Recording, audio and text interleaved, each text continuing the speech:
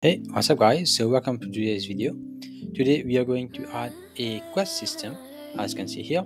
If I click on F, I get the food and when that's done I get a reward. Same thing for wood and it keeps the process as well and persisting as well during multiple saves. So as you can see it saves the system. So let's get uh, to the actual scene setup.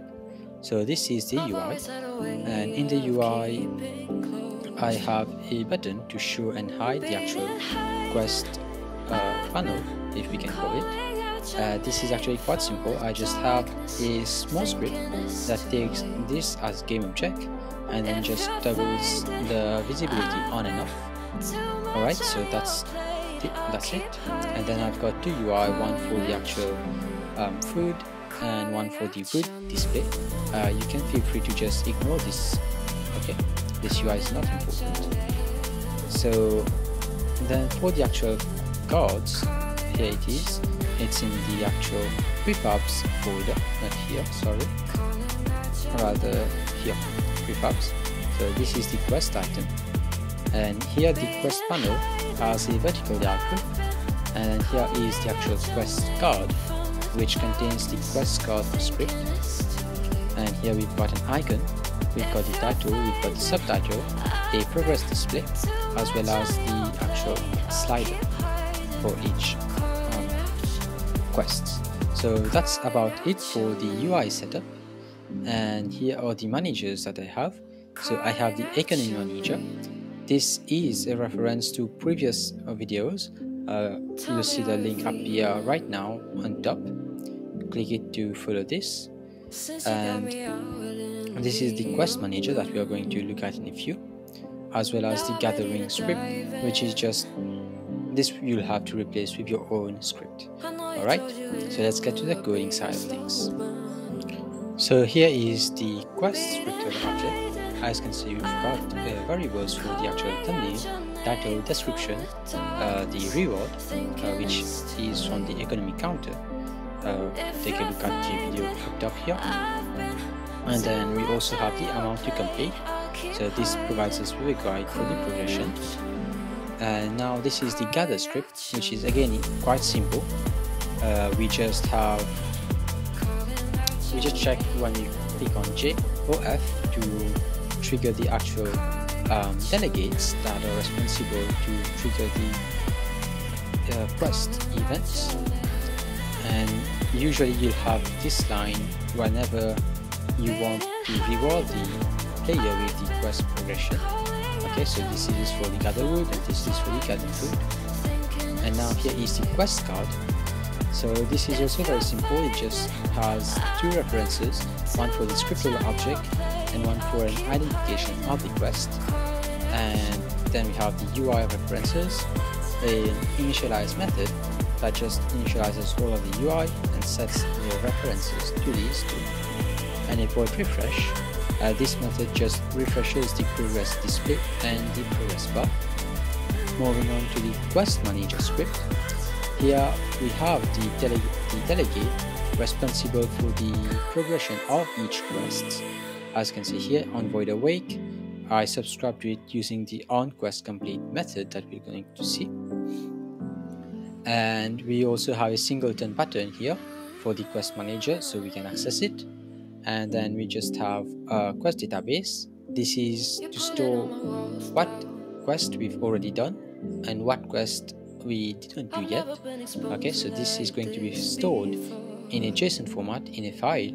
Uh, as you can see here is the name of the file questdb.db and then we have a reference to the actual card prefab and the transform as to where we are going to instantiate this prefab and then a dictionary that just links the cards prefab to the actual quest that they are referencing.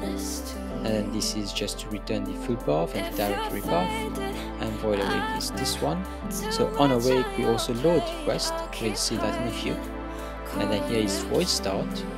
Uh, void start we just instantiates all of the quest um, for hours that we have uh, we also have to check whether or not we completed them or not.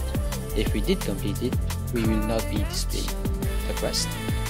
And then void destroy and here is the void on quest complete which takes in the scriptable object and then checks if we actually can still use this quest. So let's say one was marked as complete then this will not trigger. If not then we try and get the quest card we increment the completed count and we refresh the display of the UI and then we check if it's complete. If it is completed we add our rewards. And then we also remove the card and destroy it. And don't forget we have to save the actual database of the quest as well. Yeah so now uh, here is the actual method to save and load the database. Uh, it's basically just to read and write the actual quest db object to a json file. That's it. And then we just check whether or not the file is actually present or not. Here you go if it is then we don't do anything. We just read or write. And if it's not then we create a new directory or file. And this method is just for um, editor purposes only. If for instance you have to delete say file quickly. And then moving on to the actual quest db object so as you can see here we just have a list of quest IDs and then we have some methods to add quests and to get a quest. These uses the search result quest ID so the search result is an asset that I've made. Um, there will be a link to this in the description down below if you want to check it out. Basically it allows us to return a value in a safe manner. So as you can see here uh, I return error with a message but if we have the quest that we want I just return it as a success. So then you can just uh, look up if it's an error or not before accessing the variable which is a safe and clean way of doing it. And then lastly here is the quest ID object which contains the quest name, the completed count and the maximum count that you have. So for instance if you have a quest that tells you to gather 10 woods then this would be 10 and then this would keep track of how much wood you've gathered and then a boolean that just returns true if you've completed the quest. So so if you followed this tutorial then you should be able to have a fully working quest system where you can add or remove a different quest that you want. Okay you just have to come here and create a new quest scriptable object and then fill in the blanks here and that's it. So now if you find this video helpful, do subscribe to my channel, leave a like if you have not already, and if you've got any suggestions or comments, do feel free to leave them in the comments below.